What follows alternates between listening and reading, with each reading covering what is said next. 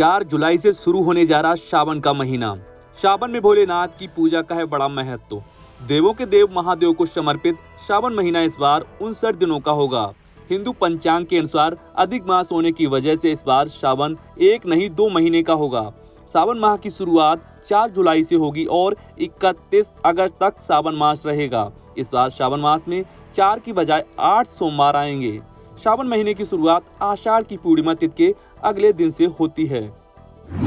अयोध्या वासियों को इसी साल मिलेगा इंटरनेशनल एयरपोर्ट। नवंबर तक शुरू हो जाएगी हवाई सेवा। अयोध्या वासियों को इंटरनेशनल एयरपोर्ट की सौगात इसी साल मिलने जा रही है। अयोध्या इंटरनेशनल एयरपोर्ट के कार्यवाहक निदेशक के अनुसार नवंबर तक अयोध्या से फ़्लाइट शुरू करने के लक्ष्य के साथ हो रहा है निर्माण कार्य और पहले दिल्ली, मुंबई के लिए शुरू हो सकती है उड़ान। वृंदावन के प्रेम मंदिर में बम की सूचना से मचा हड़कंप भक्तों में भी रहा अफरा तफरी का माहौल। उत्तर प्रदेश के वृंदावन में प्रेम मंदिर में बम की सूचना से हड़कम मच गया। प्रेम मंदिर में बम होने की जानकारी पुलिस को लगी। पुलिस फ़ौरन मौके पर पहुँची। इस दौरान श्रद्धालुओं में भी अफरा तफरी का माहौल रहा। राहत की बात यह रही कि मंदिर से बम बरामद नहीं हुआ और ये महज एक गलत जानकारी निकली।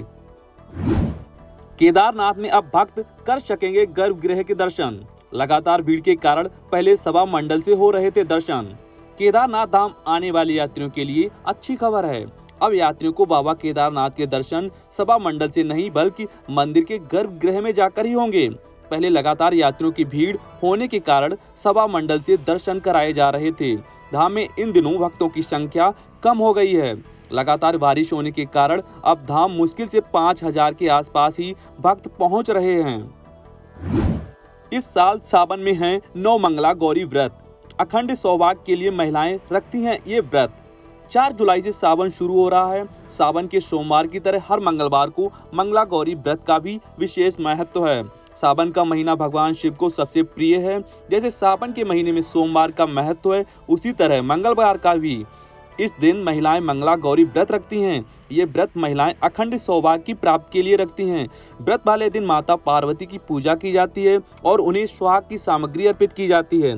खास बात यह है कि इस बार सावन का पहला मंगला गौरी व्रत सावन के पहले दिन ही पड़ रहा है। बाबा बर्फानी के दरबार में पहले दिन पहुँचे दस हज़ार से ज़्यादा भक्त। मंत्रोच्चार के साथ की गई भोलेनाथ की पूजा। बाबा बर्फानी के दरबार में भक्तों का पहुँचना शुरू हो गया है। मंत्रोच्चार के साथ आराधना की जा रही है। बाबा बर्फानी के दरबार में पहले दिन दस हज़ार से ज़्यादा श्रद्धालु पहुँचे और विधि विधान से बाबा बर्फानी की पूजा अर्चना की। इस बार अमरनाथ यात्रा के लिए विशेष इंतज़ाम किए गए हैं। भक्तों की सुरक्षा का विशेष ख्याल रखा गया है। चार जुलाई से शुरू हो रही है कावड़ यात्रा। इस साल दो महीने का होगा सावन। कावड़ यात्रा की शुरुआत चार जुलाई से हो रही है। पवित्र नदी गंगा से गंगा जल लाकर कावड़िए करते हैं भोलेनाथ का अभिषेक। कई किलोमीटर पैदल चलकर कावड़ यात्रा करते हैं। इस बार सावन दो महीने तक चलेगा। ऐसे में इस साल कावड़ियों को भी शिव भक्त के लिए ज़्यादा समय मिल जाएगा। 6 जुलाई को है सावन संकष्टी चतुर्थी व्रत। भगवान गणेश की पूजा से बढ़ेगा सौभाग्य। सावन मास में कृष्ण पक्ष की चतुर्थी को गजानन संकष्टी चतुर्थी कहा जाता है। इस बार 6 जुलाई को सावन की संकष्टी चतुर्थी मनाई जाएगी।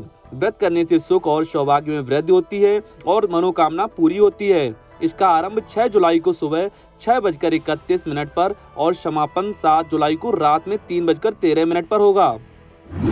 एनआरआई भक्त ने साईं बाबा को सोने का मुकुट चढ़ाया। 20 लाख रुपयों में बनकर तैयार हुआ है ये सोने का मुकुट। गुरु पूर्णिमा के पावन पर्व पर अमेरिका के एनआरआई भक्त ने शिरडी साईं बाबा मंदिर को 20 लाख रुपए का सोने का नक्काशीदार मुकुट अर्पण किया। गुरु पूर्णिमा के पावन अवसर पर भक्तों की भीड़ धार्मिक स्थानों पर देखी गई। 16 जुलाई को मनाई जाएगी कर्क संक्रांति।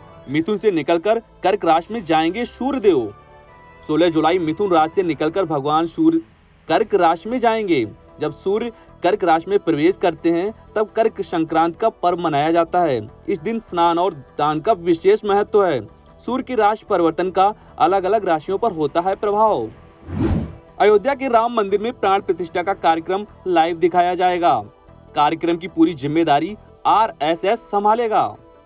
अयोध्या में श्री राम जन्मभूमि मंदिर के गर्भगृह में रामलला की मूर्ति प्राण प्रतिष्ठा कार्यक्रम को पूरे देश का मेगा इवेंट बनाने की तैयारी है। श्री राम जन्मभूमि मंदिर में प्राण प्रतिष्ठा का कार्यक्रम भी कई स्थानों पर लाइव दिखाया जाएगा। प्राण प्रतिष्ठा कार्यक्रम की पूरी ज़िम्मेदारी राष्ट्रीय स्वयंसेवक संघ संभालेगा। ट्रस्ट के महासचिव चंपत राय ने ये जानकारी दी।